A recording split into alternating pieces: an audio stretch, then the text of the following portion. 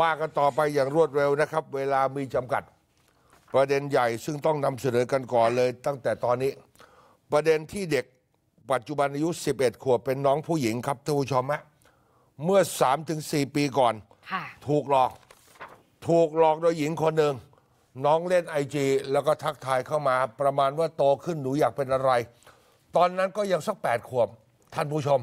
แปดขวบ เด็กก็ตอบไปตามภาษาเด็กว่าอยากจะเป็นหมอมิจฉาชีพ หลอกล่ออ๋ออยากจะเป็นหมอ หนูส่งรูปเปลือยกายของหนูมาหน่อยสิ เพราะเป็นหมอจะต้องเรียนรู้เกี่ยวกับร่างกายสรีระท่านผู้ชม หลอกล่อกันไปมา เด็กเห็นว่าคนที่คุยด้วยเป็นผู้หญิง ก็เลยส่งไปให้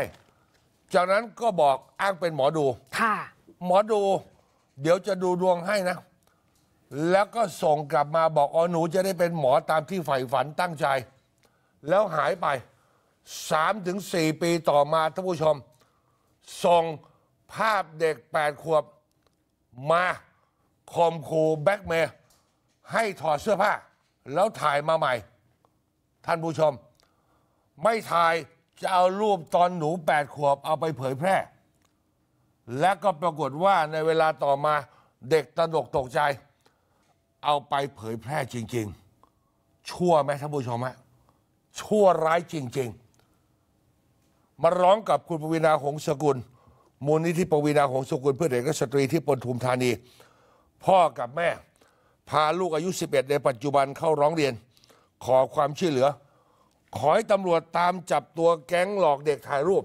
ซึ่งผมถือเป็นมิจฉาชีพออนไลน์กลุ่มหนึ่งน้องไบร์ทค่ะมิจฉาชีพออนไลน์ น้องเนี่ยเล่านะคะ คือตัวคุณแม่เนี่ยเล่าว่าเหตุการณ์เนี่ยเกิดตั้งแต่ตอนที่ลูกสาวอายุแค่ 8 ขวบ ปี 62อะ อย่างที่บอกคุณผู้ชมไปคือมิจฉาชีพหลอกให้น้อง 8 ขวบนะ เวลานั้นถ่ายรูปโป๊ส่งมาให้อืมอ้างว่าเป็นหมอดู ถามว่าโตขึ้นน้องอยากเป็นอะไร น้องบอกอยากเป็นหมอ มิจฉาชีพบอกเอาถ้าอยากเป็นหมอต้องเรียนรู้เรื่องเพศ ให้ส่งรูปโป๊ชื่อที่อยู่บัตรประชาชนมาให้อืม ทีนี้ท่านผู้ชมต่อมาเนี่ยค่ะ อีก 2 ปีอย่างที่บอกไป Facebook อันเดิมขอให้เด็กส่งภาพโป๊มาอีก แต่ทีนี้น้องไม่ทำนะคะอืมก็ปรากฏว่ามิจฉาชีพก็เลยเอารูปที่น้องถ่ายส่งไปให้ตอน 8 ขวบ ส่งไปให้เพื่อนๆในโรงเรียนของน้องดู เมื่อวันที่ 9 กุมภาพันธ์ท่านผู้ชม แล้วส่งรูปโป๊ของเด็ก 8 ขวบ ซึ่งตอนนี้เด็กเริ่มโตท่านผู้ชม เด็กค่ะเริ่มโต ส่งแล้วเขียนข้อความ ประกาศขายตัวอืมจริงค่ะๆกระจายไปทั่ว คุณครูรู้เรื่อง แจ้งพ่อแม่ แล้วประสานมูลนิธิปวีนาท่านผู้ชมครับคุณปวีนาเนี่ยเล่าให้ฟังหลังจากที่ได้ถามไถ่เพราะมันเป็นเรื่องละเอียดอ่อนมากท่านผู้ชม คุณปวีนาบอกว่า เด็กตอนปี 62 อายุ 8 ขวบนะ อย่างที่ผมบอกเล่นไอจีอยู่ที่บ้านคนเดียว แก๊งวิชาชีพหลอกเด็กทักไอจีแล้วแนะนำว่าเป็นหมอดูดวง สอบถามอย่างที่น้องไบร์ทบอกนี่แหละเด็กก็ตามภาษาซื่ออยากจะเป็นหมอ แล้วก็ไล่เรียงกันไป ประมาณว่าต้องส่งรูปมานะ ต้องเรียนรู้เรื่องสรีระเรื่องเพศ ต้องเรียนรู้ร่างกายแล้วจะดูหมอให้ด้วยนะท่านผู้ชมฮะสุดท้ายบอกหมดเลย ชื่อโรงเรียนชื่ออะไร ส่งรูปถ่ายตัวเอง ที่โป๊เปลือยท่านผู้ชม ประมาณว่าจะดูดวง ทีแรกเนี่ยไม่ปักใจนะ คือน้องอะขอดูรูปหน้าของหมอดูก่อน หมอดูก็เลยส่งรูปภาพผู้หญิงโป๊เปลือยมาให้น้องดูอืมแล้วก็บอกน้องว่าให้ถ่ายรูปตามเนี้ยคือถ่ายรูปโป๊แบบนี้ ตามภาษาเด็ก8ขวบบอกเห็นเป็นผู้หญิงก็เลยส่งรูปพร้อมกับรายละเอียดไปว่าชื่ออะไรยังไง ผ่านไป 5 นาที หมอดูหญิง มิจฉาชีพแชทกลับมาบอกว่า น้องจะได้เป็นหมอจริง ๆ ในอนาคตค่ะ 62 ผ่านไปมันก็เงียบ กันยายนปีที่แล้วปี 65 มี Facebook Facebook หนึ่งทักแชทมาหาน้องอีกครั้ง แล้วก็ส่งรูปภาพโป๊เปลือยของน้อง พร้อมกับบัตรประชาชน ซึ่งน้องเนี่ยเห็นรูปจำได้ทันทีว่า เป็นรูปที่เคยส่งให้หมอดู ซึ่งอ้างตัวว่าจะดูดวงให้เนี่ยตอนปี 62 ทีนี้ Facebook ที่ทักมาตอนกันยา 65 เนี่ยข่มขู่น้องบอกให้ส่งภาพโป๊เปลือยแบบนี้มาอีก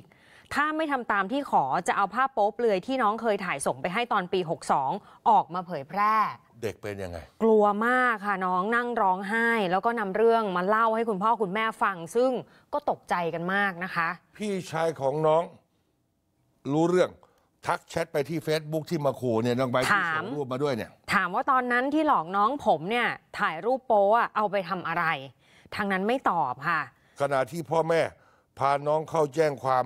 กับตำรวจ กระทั่ง 8 กุมภาพันธ์ที่ผ่านมานี่เองน้องไบรท์อืมมิจฉาชีพตอบแชทกลับมาบอกไม่ใช่พี่ไม่ใช่น้องแท้ๆ อย่ามาเสลอก็คือหมายถึงว่าคนที่เป็นพี่ชายของน้องที่ทักแชทไปถามอะ บอกไม่ใช่พี่ไม่ใช่น้องแท้ๆ อย่ามาเสลอบอกพ่อขับสิบล้อตายหรือยังท่านผู้ชม เหมือนไปท้าทายเขาหรือยังไง มิจฉาชั่วเนี่ยท่านผู้ชมฮะ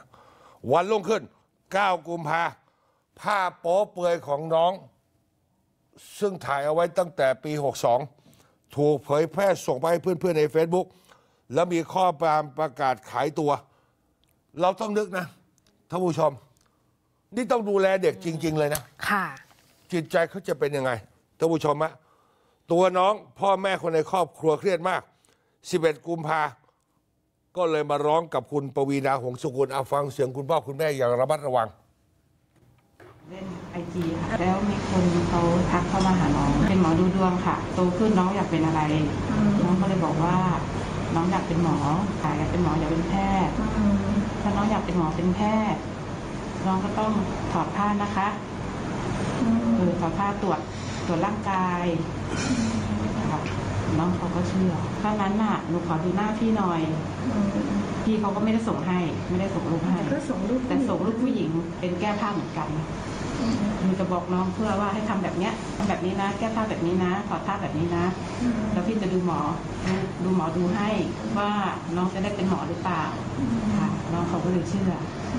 เชื่อแล้วก็น้องเขาก็เลยส่งภาพไปให้ถ่ายภาพโป๊หมดเลยแล้วก็พร้อมกับบัตรประชาชนของน้องที่โรงเรียนด้วยนะค่ะ เสร็จแล้วก็หายไปเลยทีนี้แล้วเขาก็กลับมาใหม่เขาทักมาโดยที่ว่าส่งรูปน้อง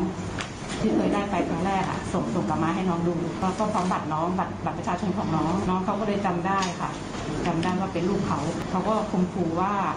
ให้น้องอะถอดผ้าอีกต้องการต้องการรูปอีกให้ส่งให้ส่งมาให้พี่หน่อย ทีนี้น้องเขาก็ไม่ส่งแหล้วเขาเขาเขากลัว เพราะว่าน้องเขาคิดว่าเขาเคยส่งไปให้แล้วครั้งหนึ่งเขาก็เลยไม่ส่งให้แล้วทีนี้เขาก็เลยร้องไห้ร้องไห้แล้วก็ วิ่งมาบอกคุณพ่อค่ะข้างล่างผมก็เลยแบบปรึกษากันว่าจะทำไงดีผมก็เลยไปแจ้งความที่โรงพักบางกอกใหญ่คดีเงียบหายไป ผมก็ไม่รู้จะทำไงก็ท่านผู้ชมครับ คุณปวีนาของสกุลเมื่อวานนี้บอกนะครับว่ารีบประสานพุ่มกับบางกอกใหญ่ พาน้องเข้าไปแจ้งความ เพราะครั้งแรกเนี่ยบันทึกประจำวันเท่านั้นเองค่ะแล้ววันนี้ 13 กุมภาพันธ์บ่าย2โมงคุณปวีนาจะพาพ่อแม่ของน้องเข้าพบ รองผบตรสุรเชษฐ์หักพานท่านผู้ชมฮะค่ะ บิ๊กโจ๊กเพื่อเร่งรัด คืออันนี้เนี่ยโอ้โหน่ากลัวจริงค่ะ ๆค้ามนุษย์ก็มีส่วนอยู่เหมือนกันนะ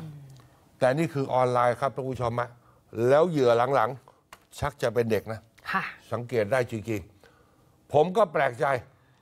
สามสี่ปีก่อนทำมาไว้ ค่ะ แล้วเอาครบเลย ชื่ออะไร